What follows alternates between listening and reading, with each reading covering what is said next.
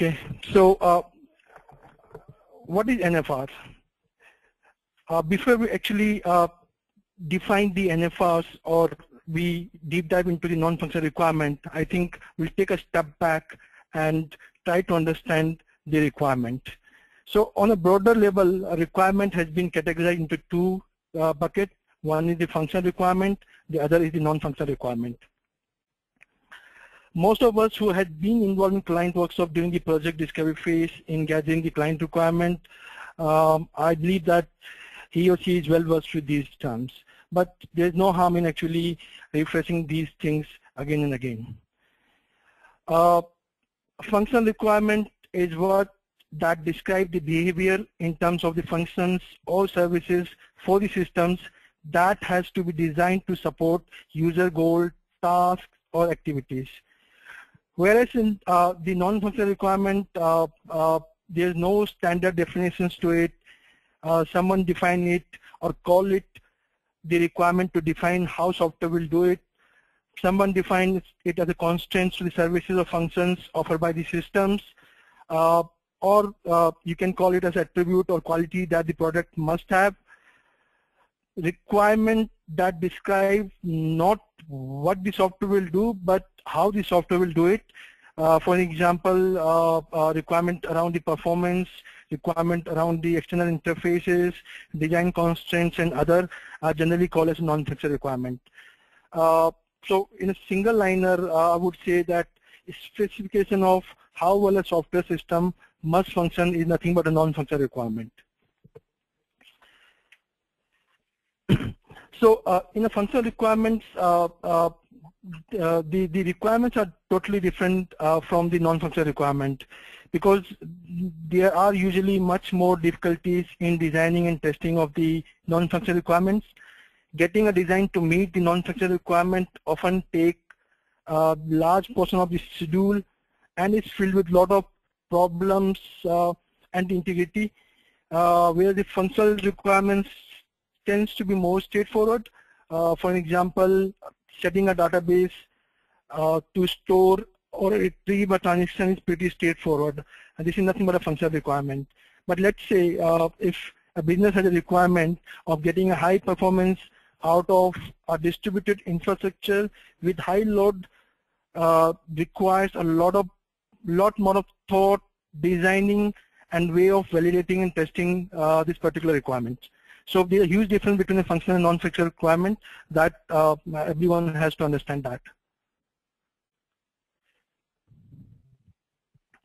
Classifying the requirements. Uh, so uh, though there are few triple IE standard models uh, that listed non-functional requirements to be included in a software requirement document, but uh, I would say that the first FURPS model is one of the unified proposed process through which you can classify all these requirements.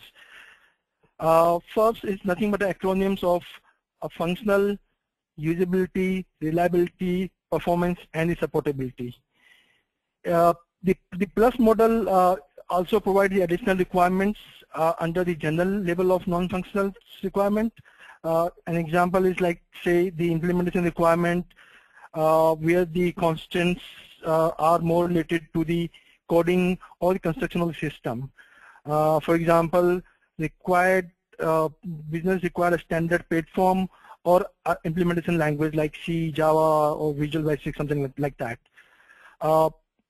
interface requirement is a requirement to interact with the external party, uh, how the system has to call or do a third-party calls.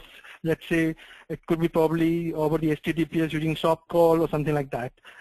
Uh, in terms of the design requirement, uh, it, it's primarily constraint related to the design of the systems. Uh, example uh, could be a relational database is required uh, or let's say single sign-on function is required so these are nothing but the, the constant related to the design. A physical requirement uh, is nothing but uh, more around the constant imposes on the hardware used to house uh, the, the infrastructure. Uh, for example, uh, the model and specification of hardware, whether it should be uh, deployed on RISC-based system, CISC-based system, or in the public cloud, private cloud, or, or, or, the hybrid cloud.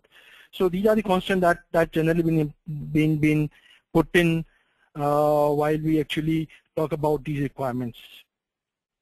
Uh, coming to the FURPS model again, uh, when we say the functional, so these are the high-level bucket uh, which can be subcategorized into the other non-functional requirement.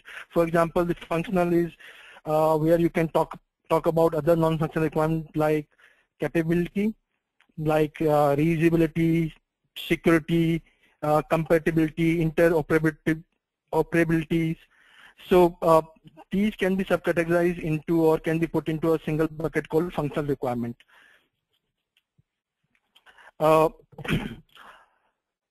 all functional requirements usually represent uh, main product features, uh, for example, uh, processing or the order process requirement uh, that the client has or business had.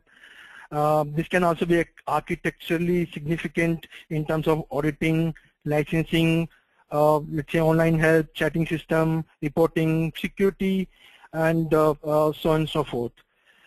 Uh, when it comes to the usability, uh, uh, it's more around how the system can can be made usable for and and discover functionalities or the non-functional requirement like human factor, consistency, documentation, reporting, responsiveness.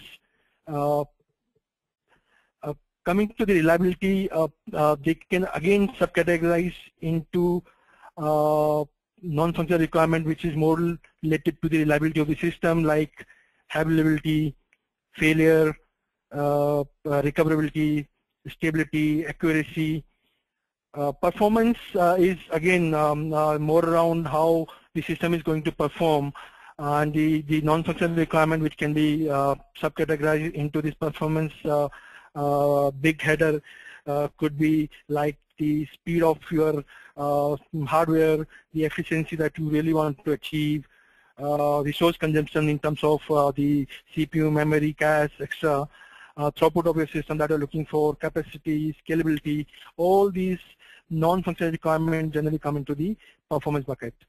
Uh, supportability is more around uh, maintaining or providing a support to the systems and the NFRs like uh, serviceability, sustainability, maintainability, uh, adaptability, modularity, all such type of requirements generally fall into the, the big bucket like uh, uh, big bucket called supportability.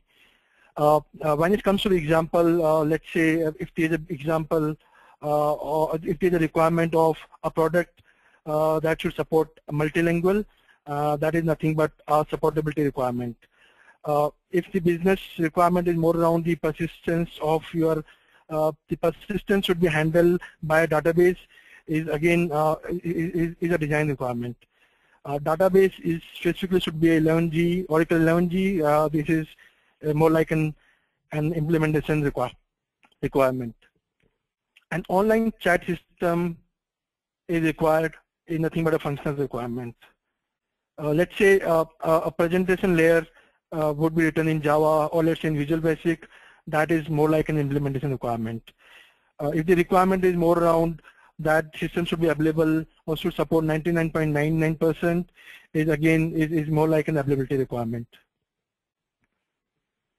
So these are the, the, the high level categorization of your requirement be it functional or be it non-functional. So managing NFRs, uh,